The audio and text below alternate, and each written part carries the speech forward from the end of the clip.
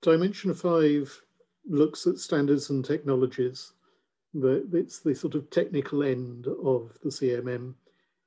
But while it is talking about technical things, it is also still quite policy oriented. We are looking at the extent to which a country has thought about their technology rather than specifically how tall a firewall they have or anything like that. So the first factor that we look at is uh, how those apply in general, whether they have a mandate across government, uh, whether there are particular standards for procurement and concerning the life cycle of products, and standards for services as well. The second factor is looking at security controls, which is perhaps the most uh, conventionally technical area, where we look at the various kinds of control that are deployed in the country uh, and to what extent that has adapted to emerging technologies. But we also look at uh, the use of cryptography and uh, how widely deployed that is and for what purposes. The third factor is software quality and assurance, uh, whether the country looks at the productivity loss due to poor software or pirated software and things like that. The fourth factor is internet infrastructure resilience. This is a, place where there's a bit of overlap with dimension one, which looks at where the policy of the country, the strategy has set up things that look at the resilience of the infrastructure and the reliability of the infrastructure to support uh, instant response and the like.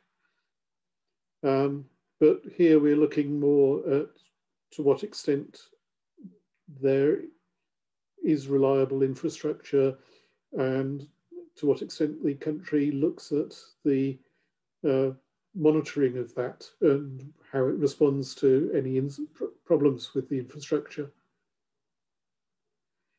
The fifth factor is the cybersecurity marketplace. We look either for evidence that there is some homegrown technology which may be most appropriate for larger and more developed countries, uh, but if the, the country is not one which you would expect to be able to roll its own, we look at evidence of um, being a smart customer. So this is true for technology and for services and expertise. Um, and also we inquire about cyber insurance, whether that's something which has been adopted widely, whether it's something which is provided internally or whether it's coming from abroad. Uh, and again, whether there's uh, undue reliance on uh, possibly uh, uh, fragile partners. And the final factor is responsible disclosure. This aligns with some of the GFCE initiatives trying to ensure that legislation is protecting people who are looking for flaws in systems with a benign motive and not getting the cybersecurity researchers locked up for pointing out how bad something is to the people who have produced bad things.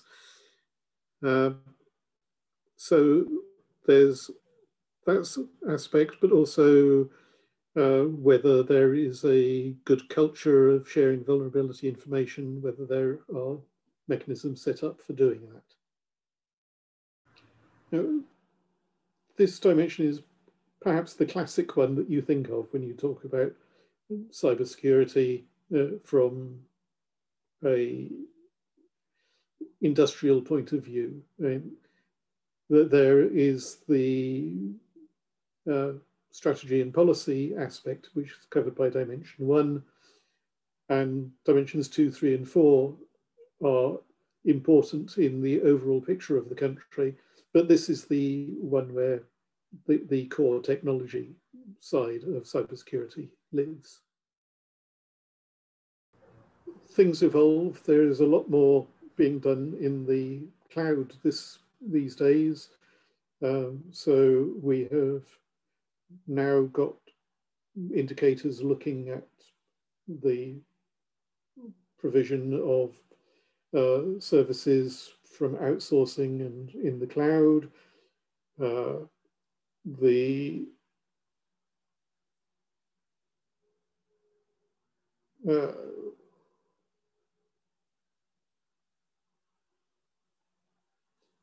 start that one again. Um, the threat landscape is constantly evolving, and so we need to look at how the country is responding to that. But there is also a evolution of the deployment of things in the country. So this brings along new issues. So increasing reliance on the cloud, uh, increasing amounts of outsourcing, and how you uh, audit the uh, provision of services uh, by third parties, the integrated uh, the, the, the reliance of the connected world, so dependencies on neighbors and so on. And, and there are a number of areas of technology which are coming through, like IoT and uh, machine learning, artificial intelligence, and so on. Rather than trying to list all of them and asking countries uh, how they are responding to those, we, we look for evidence that they are aware that things change and how they respond to those changes.